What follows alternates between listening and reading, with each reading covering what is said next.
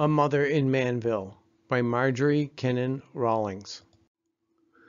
The orphanage is high in the Carolina mountains.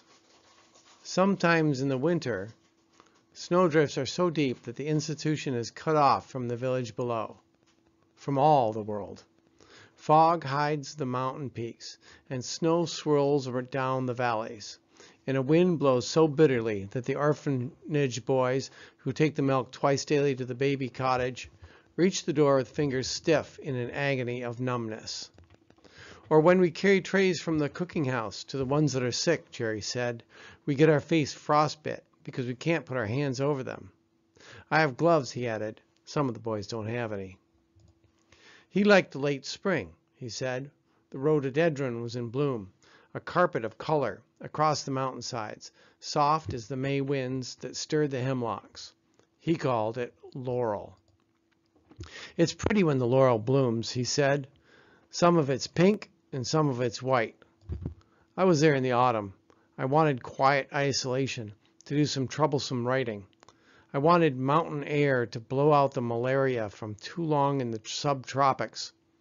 I was homesick, too, for the flaming maples in October, for the corn shocks and pumpkins and black walnut trees of the lift of hills. I found them all living in a cabin that belonged to the orphanage, half a mile beyond the orphanage farm. When I took the cabin, I asked for a boy or man to come and chop wood for the fireplace. The first few days were warm. I found what wood I needed about the cabin. No one came, and I forgot the order. I looked up from my typewriter one late afternoon, a little startled. A boy stood in the door, and my pointer dog, my companion, was at his side and had not barked to warn me. The boy was probably 12 years old, but undersized. He wore overalls and a torn shirt and was barefooted. He said, I can chop some wood today. I said, mm, but I have a boy coming from the orphanage. I'm the boy. You, but you're small. Size don't matter chopping wood, he said. Some of the big boys don't chop good. I've been chopping wood at the orphanage for a long time. I visualized mangled and inadequate branches for my fire. I was well into my work and not inclined to conversation.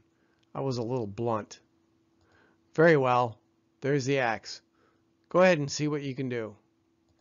I went back to work, closing the door. At first, the sound of the boy dragging brush annoyed me. Then he began to chop. The blows were rhythmic and steady, and shortly I had forgotten him, and the sound no more of an interruption than a consistent rain. I suppose an hour and a half passed, for when I stopped and stretched and heard the boy's steps on the cabin stoop, the sun had already sun was dropping behind the farthest mountain, and the valleys were purple with something deeper than the asters. The boy said, I have to go to supper now. I can come again tomorrow evening. I'll pay you now for what you've done, thinking I should probably have to insist on an old, older boy. Ten cents an hour? Everything's all right. We went together back of the cabin. An astonishing amount of solid wood had been cut.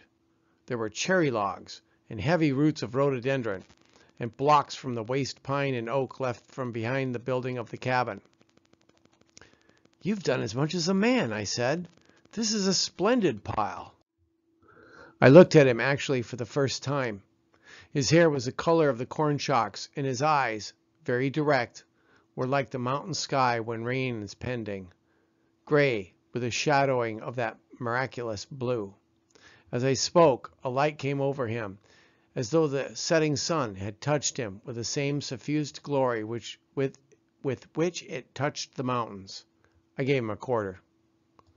You may come back tomorrow, I said, and thank you very much. He looked at me and at the coin and seemed to want to speak, but could not, and turned away. I'll split kindling tomorrow, he said over a thin, ragged shoulder. You'll need kindling, and medium wood, and logs, and backlogs. At daylight, I was half awakened by the sound of chopping. Again, it was so even in texture that I went back to sleep. When I left my bed in the cool morning, The boy had come and gone, and a stack of kindling was neat against the cabin wall. He came after school in the afternoon and worked until time to return to the orphanage. His name was Jerry. He was 12 years old, and he had been at the orphanage since he was four. I could picture him at four, with the same grave, gray blue eyes and the same independence? No, the word that comes to me is integrity.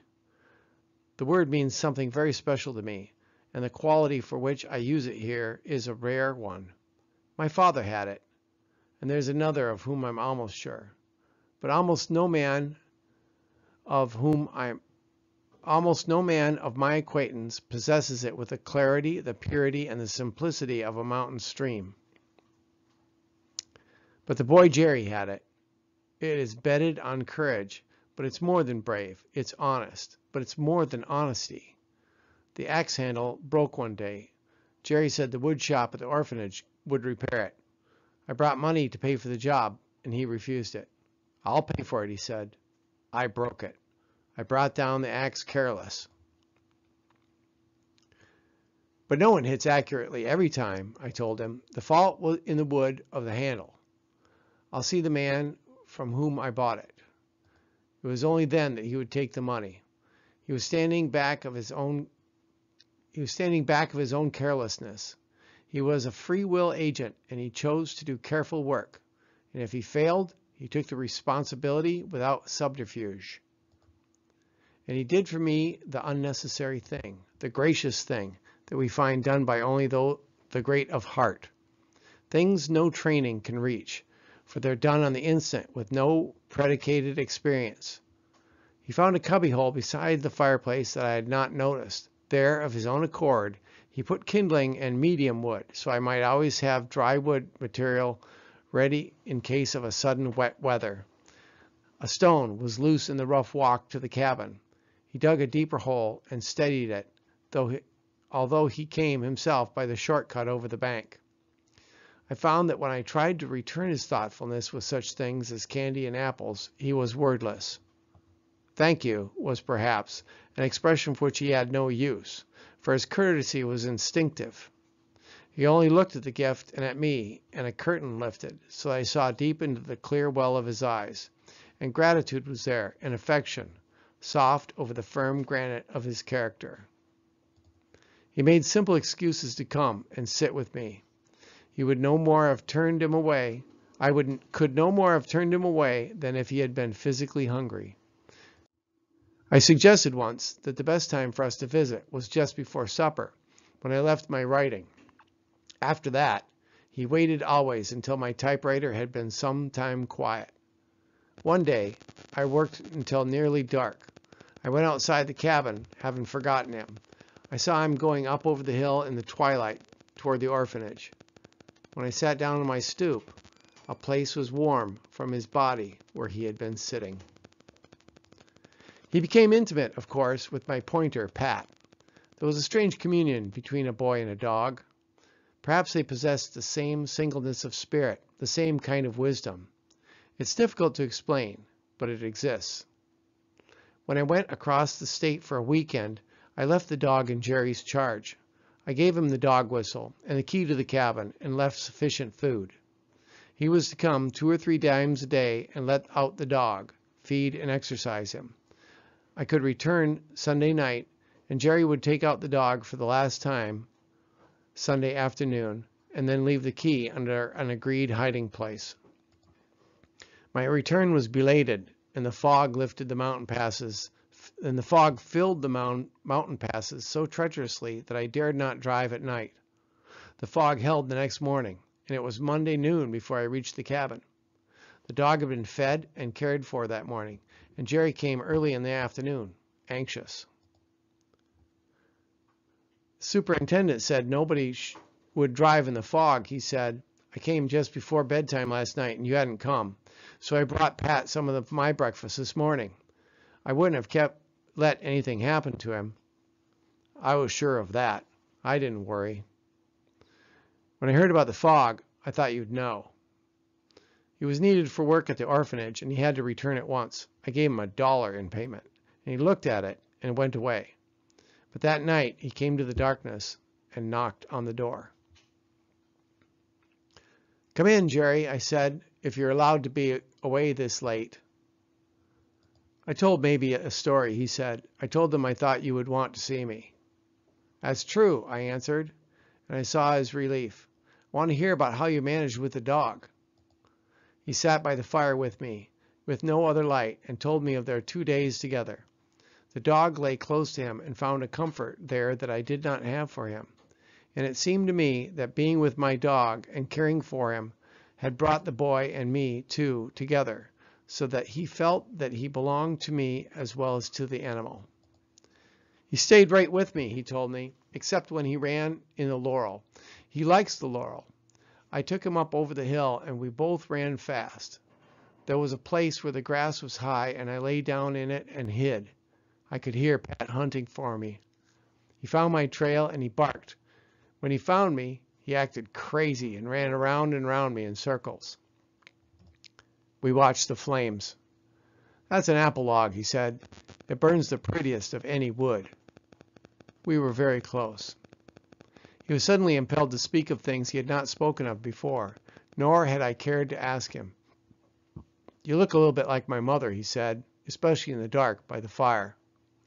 But you were only four, Jerry, when you came here. You've remembered how she looked all these years? My mother lives in Mannville, he said. For a moment, finding that he had a mother, shocked me as greatly as anything my life has ever done, and I did not know why it disturbed me. Then I understood my distress.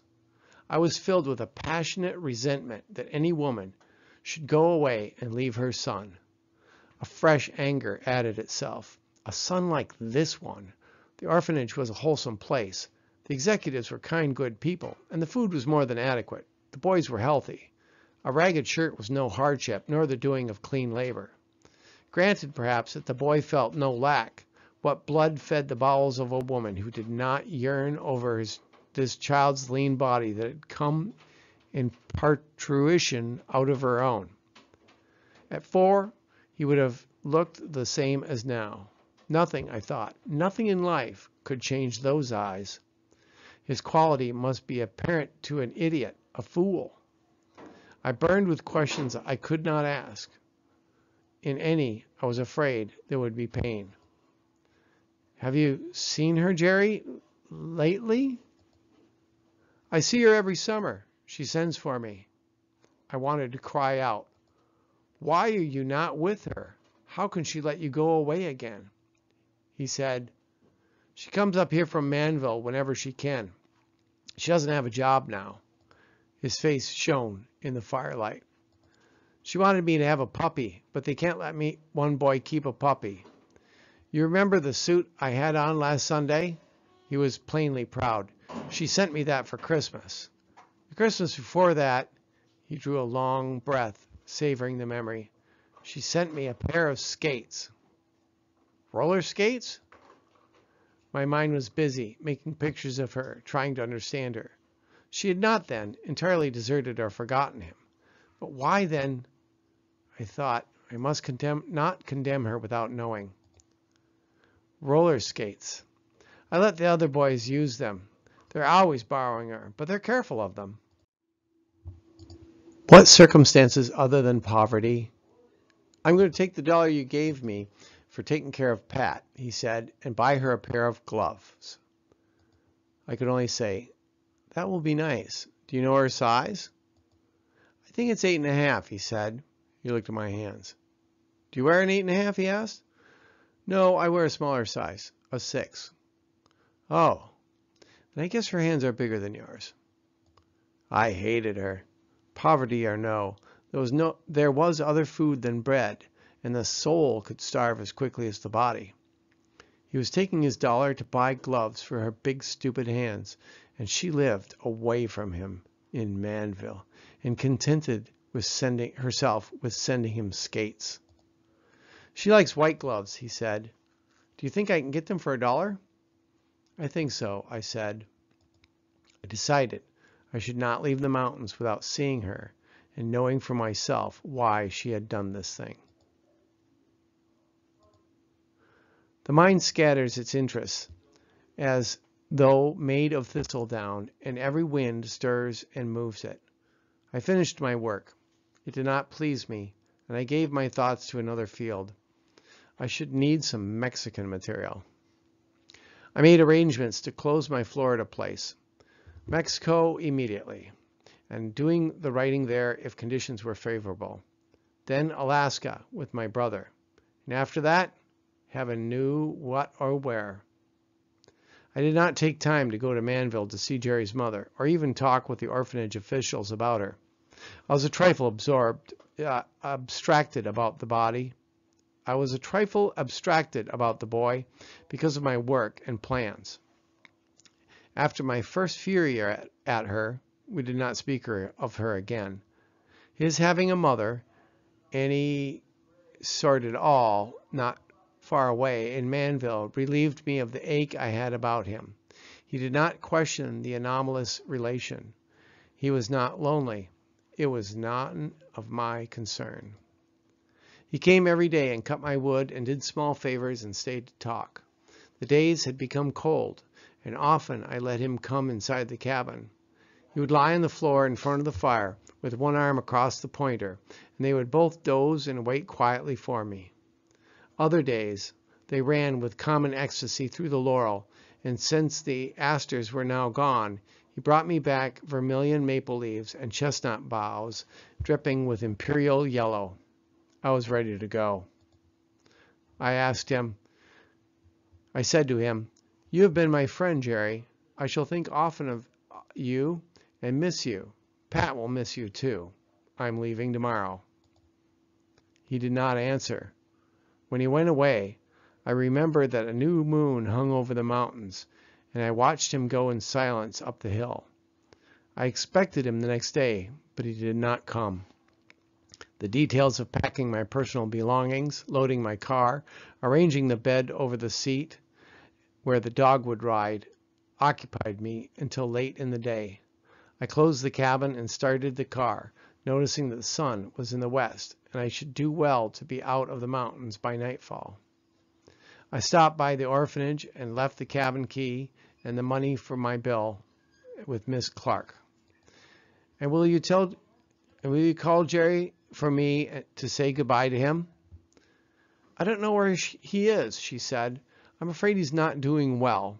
He didn't eat his dinner this noon. One of the other boys saw him go, going over the hill into the laurel. He was supposed to fire the boiler this afternoon. It's not like him.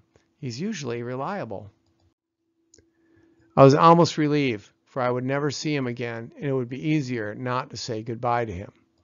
I said, I wanted to talk with you about his mother, why he's here, but I'm in more of a hurry than I expected to be. It's out of the question for me to see her now, too. But here's some money I'd like to leave you with with you to buy things for him at Christmas and on his birthday. It will be better for, than for me to try to send him things. I could so easily duplicate the skates, for instance. She blinked her honest spinster's eyes. There's not much use for skates here, she said. Her stupidity annoyed me. what I mean, I said, is that I don't want to duplicate things his mother sends him. I might have chosen skates if I didn't know she had already given them to him. She stared at me. I don't understand, she said. He has no mother. He has no skates.